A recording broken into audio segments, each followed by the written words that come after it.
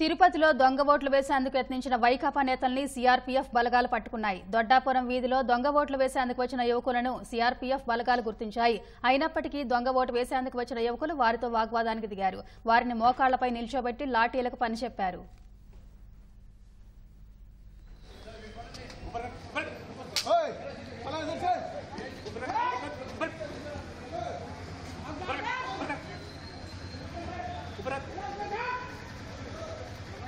ఎక్కడి నుంచి వచ్చాయి ఎక్కడి నుంచి వచ్చారు?